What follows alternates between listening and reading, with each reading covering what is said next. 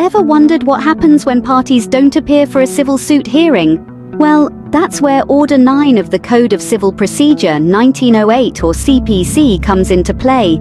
Today, we're going to take a closer look at this order and its significant role in the judicial process.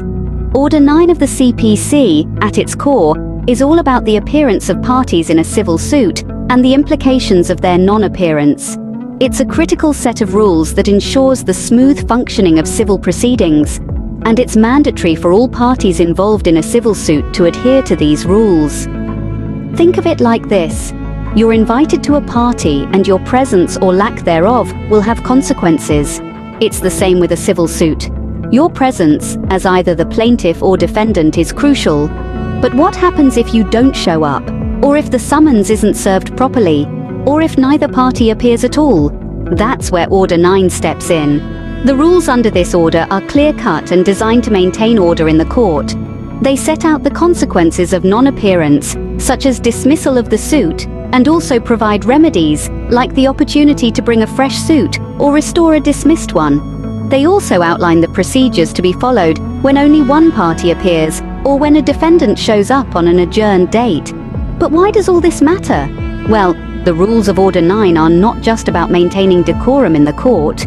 They also protect the rights of the parties involved in a civil suit. They ensure that no one is denied justice due to a mere technicality or oversight. In a nutshell, Order 9 of the CPC is a vital tool in the judicial process that ensures fairness, maintains order, and upholds the principles of justice. It's not just about the appearance or non-appearance of parties, it's about the larger picture of ensuring justice is served now that you understand the general scope of Order 9, let's delve into its specific rules. Rule 2 of Order 9 states that if the summons has not been served, the court may dismiss the suit. Now you might wonder, what could cause a summons to go unserved? Well, it all comes down to the plaintiff. If they've failed to pay the necessary court fee or postal charges, or if they haven't presented copies of the plaint as required by Rule 9 of Order 7, the summons won't be served. Let's paint a picture to help you understand better. Imagine Jane Doe has filed a suit against John Doe, but Jane doesn't pay the court fee or fails to present the necessary copies of the plaint. In such a case, John never receives the summons. The court, seeing Jane's lack of compliance, has the power to dismiss the suit. So, if the plaintiff fails to do their part, they risk having their case dismissed. What if both parties decide not to show up? Rule 3 has the answer. Now, let's imagine a scenario where neither the plaintiff nor the defendant appears in court when the suit is called on for hearing. In such a case, the court may take the decision to dismiss the suit under Order 9, Rule 3 of the Code of Civil Procedure, 1908. Why? Because the court operates on the principle of fair hearing and justice. If neither party is present to put forth their case, it becomes virtually impossible for the court to deliver a fair judgment. So, let's take an example to make it clearer. Say, Mr. A files a suit against Mr. B. On the day of the hearing, neither Mr. A nor Mr. B turns up in court. In such a case, the court under Rule 3 has the authority to dismiss the suit. Just remember, if no one shows up, the suit might just be dismissed. If a suit is dismissed under Rule 2 or 3, does the plaintiff have any recourse? Rule 4 provides the answer. This rule allows the plaintiff to bring a fresh suit or apply for an order to set the dismissal aside. Let's consider a scenario. Suppose a plaintiff fails to pay the court fee, leading to the dismissal of the suit under Rule 2. In this case, the plaintiff can either start a new suit or request the court to reconsider the dismissal. If the court is satisfied that there was a legitimate cause for the initial failure, it has the power to set aside the dismissal and schedule a new date for proceeding with the suit. This provision ensures that the plaintiff is not unduly punished for a minor lapse or a genuine mistake. So even if a suit is dismissed, all hope is not lost for the plaintiff. Let's examine the rest of the rules under Order 9, which cover various other scenarios. First off, we have Rule 5, which is about the dismissal of a suit when the plaintiff fails to apply for a fresh summons. Now imagine this. A summons has been issued to the defendant, but it's returned unserved. The ball is now in the plaintiff's court.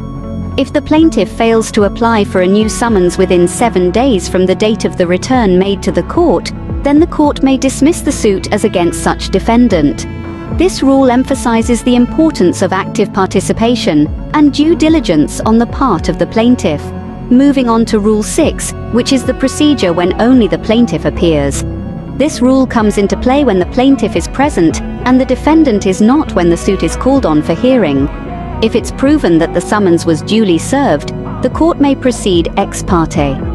Essentially, the court can make a decision in the absence of the defendant, based on the evidence and arguments presented by the plaintiff. This rule underscores the gravity of ignoring a summons. If a defendant chooses not to appear, they run the risk of a judgment being passed without their input. Lastly, we have Rule 7, detailing the procedure when the defendant appears on the day of the adjourned hearing. In this case, if the defendant shows up and gives a good reason for their previous non-appearance, they may, upon such terms as the court directs as to costs or otherwise, be heard in answer to the suit as if they had appeared on the initial day fixed for their appearance. It's a sort of second chance, but it's not a free pass. The court will decide the terms, which could include costs or other conditions. It's a rule that balances fairness with accountability. Now that we've covered all the rules under Order 9, let's summarize what we've learned. We started with Rule 2, which deals with the dismissal of a suit where a summons has not been served.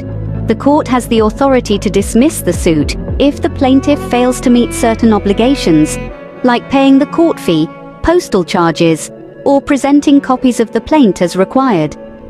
We then moved on to Rule 3, where if neither party appears when the suit is called for hearing, the court may dismiss the suit.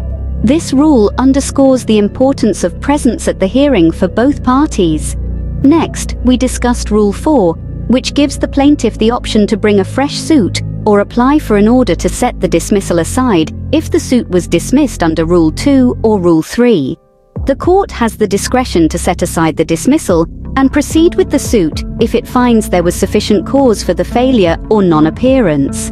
Rule 5 to 7 further elaborate on the consequences of non-appearance and the procedures when only one party appears. Rule 5 states that if a summons has been issued and returned unserved, and the plaintiff fails to apply for a fresh summons within seven days, the court may dismiss the suit. Rule 6 allows the court to proceed ex parte if the plaintiff appears and the defendant does not, given that the summons was duly served. Rule 7 allows the defendant to be heard in answer to the suit if he appears on the day of the adjourned hearing and assigns good cause for his previous non-appearance.